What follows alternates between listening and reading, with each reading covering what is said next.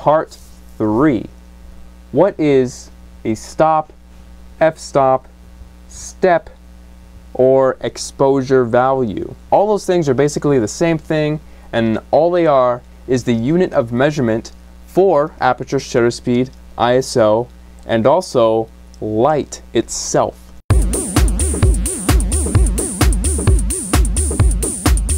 Alright, so here's what I mean. Let's just say we're photographing this room here. It's pretty much well lit for the most part. We got a lamp there, a lamp there, a lamp behind that wall over there, and we even got a softbox here aimed up at the ceiling and the light is being bounced and just kind of being, it's just filling in some shadow areas down there. So it's pretty much well lit for the most part.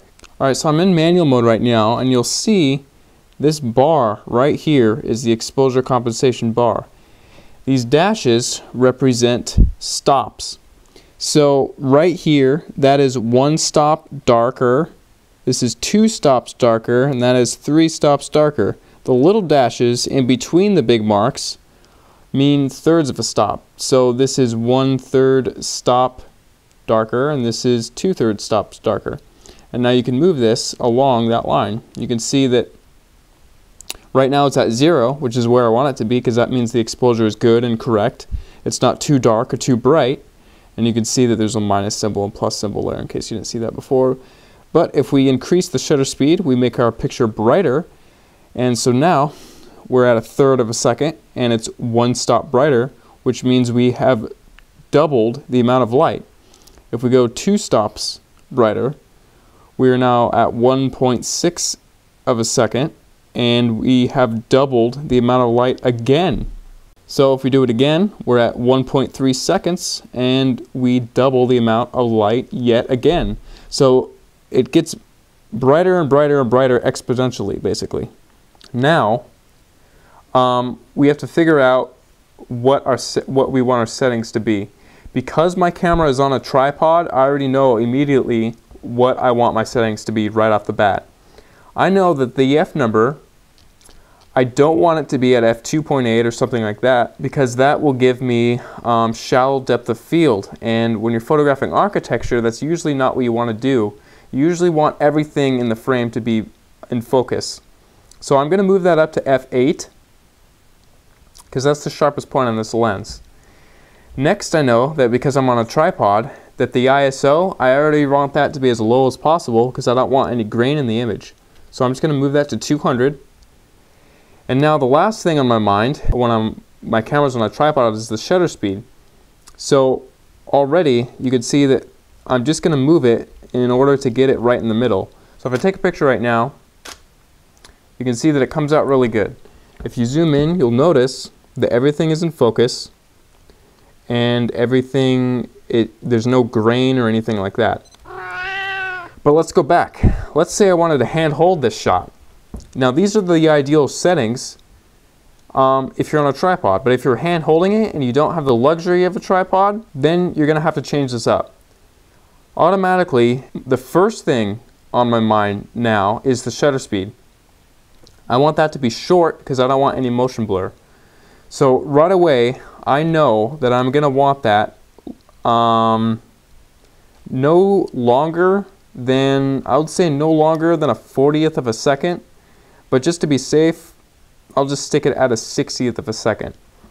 If you're using a really uh, long zoom lens, you would want it to be something like 125th of a second or something like that. Um, but right now, 60th of a second, I know that if I was hand holding it, that would be okay. That would be pretty much, that would be sharp. Next thing, now that I see that my exposure value bar is many stops to the minus symbol. It means it's going to be very dark if I were to take a picture. I want to let more light in my camera. So I'm going to put that F number all the way down. And even when I did that, it's still off the charts. So now we have one more option, and that is the ISO. I'll bump that up to ISO 1600 and see what that gives me. It's very close to zero.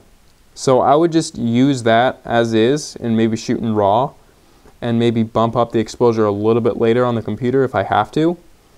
But if I was hand holding this shot, this, these are the settings that I would use.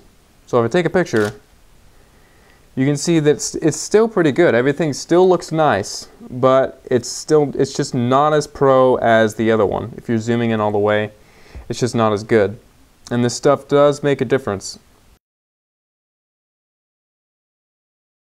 And you can see that even if you go into P mode and then you push the exposure value button on your camera, you can even adjust the exposure value directly right here.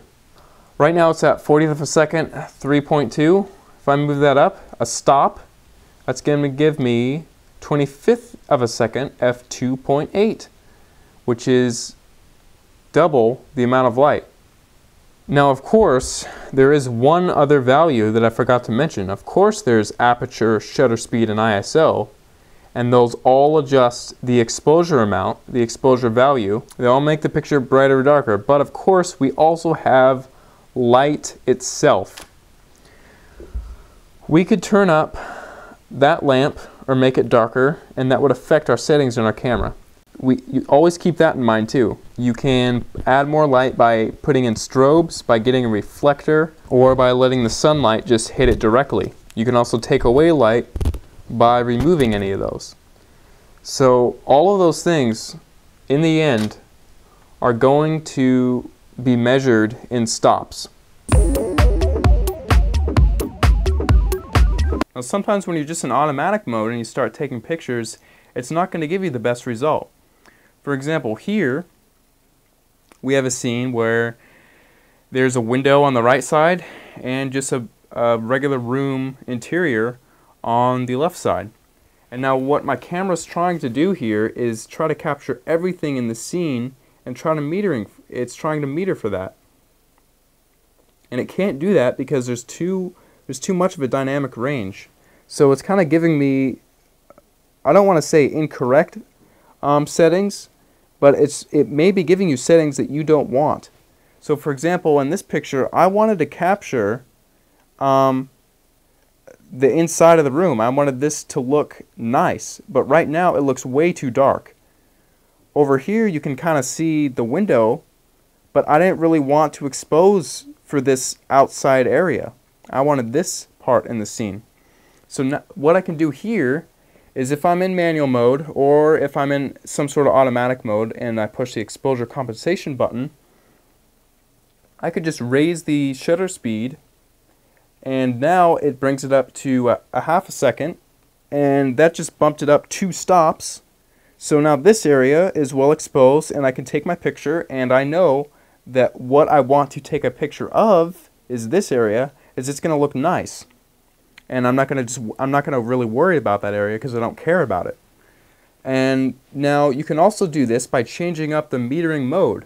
So right now if I just go back to zero here, what my camera is telling me automatically is that this is zero EV. When you're in matrix metering mode, it's trying to capture everything in the frame and correctly expose for it. But you can see that it can't capture everything here because there's too much dynamic range. We have too many bright brights over here and too many dark darks over there.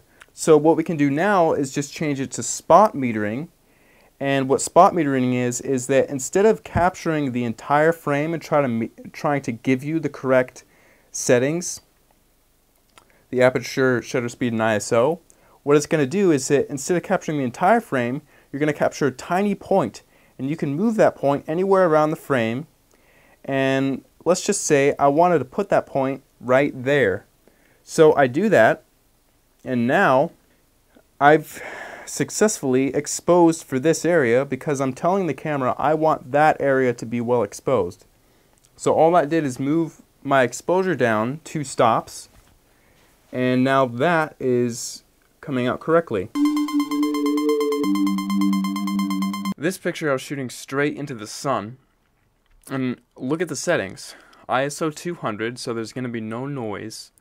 Uh, the shutter speed was pretty short, so there's not going to be any motion blur, so the, the waves are going to be very crisp, and I don't have to worry about camera shake.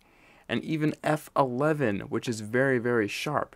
So with this picture, the reason why I could get all of those really good settings is because I had so much light to work with.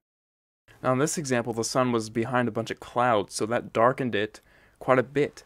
And I also took this at 6, around 6.30 p.m., so it's going to be a little bit more darker. But I'm at f8 here, and ISO 200 and about a half a second. And when the waves are coming up against the rocks and you're photographing that on a tripod at half a second, you're going to be able to capture some of the movement of the waves. Same picture, but I just um, bumped up the f number so that let in less light in my cameras and that allowed me to increase the shutter speed and I just left the ISO where it was. And it's just a few minutes afterwards. So here, because the shutter speed was longer, you can see more of the waves. It just recorded all that time of the waves going in and out of the rocks. And if you do this even past 6 seconds, say 15 seconds or 30 seconds, it's going to look like fog going up around the rocks. So if you want to take exposures that long, you can either wait until nighttime or just use a ND filter in front of your lens, which just darkens everything. Alright, now for portraits, I like to blow out the background, or I just like to make it a lot blurry. So right here, I used the widest aperture I could that uh, my lens offered at the time, and I zoomed in all the way, and that just helped me blow out the background. Then I just did a regular 1 60th of a second in ISO 100, that's pretty normal. But check this out, why is the house in the background? Why is that there?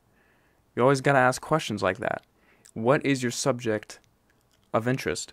The reason why I'm using such a wide aperture in the first place is because I want to make the subject of interest the subject of interest. I want to put all the focus on that subject. So, if you crop the picture, or better yet, take the picture like this in the first place, just screw the background, and maybe even Photoshop it so you kind of blow out the house that was in there. Now the subject of interest is right in your face, you can't miss it, and it's just a much more stronger image. And now what if you're in a low light situation but you want your pictures to be sharp? You don't want any motion blur. Um, what you're going to have to do there is just open up the aperture, raise the ISO, and then shorten the shutter speed to eliminate camera shake. So that's what you're going to have to do in low light situations, like if you're shooting concerts or if you're outside in the city and it's kind of dark. And now, what type of metering was used in this? Spot metering. That's right, spot. Because if I use matrix, the background would then try it would my camera is going to try to pump up the background make it brighter because it thinks it's too dark but really I want the background dark I only want the guy's face to be correctly exposed and then if my camera was still giving me trouble I could just either adjust the exposure compensation or just put it in manual mode pet your cat and call it a good day Alright, I can't give any more examples because this video is getting way too long. I gotta hurry it up. If you want to learn more about your camera and how to take good, high quality, well exposed, in focus pictures that you are in control of, you're not going to be relying on the flippin' automatic mode on your camera anymore. Because as we just saw in several examples, you can't rely on that thing. You need to know what the settings do and how to use them, what camera to get, what lenses to use, the composition and psychology of imagery, post production, light, color, and focus, all that good stuff is all going to be covered in this new course that I'm creating that eventually is going to be at that URL right there. So just remember, if you don't even have a DSLR yet, but you're planning on getting one, or you you've had one for a few months or a few years, but the pictures you're taking aren't coming out as well as you'd like them to be, go to that URL and enter your name and email address so I can send you my course once it's all done.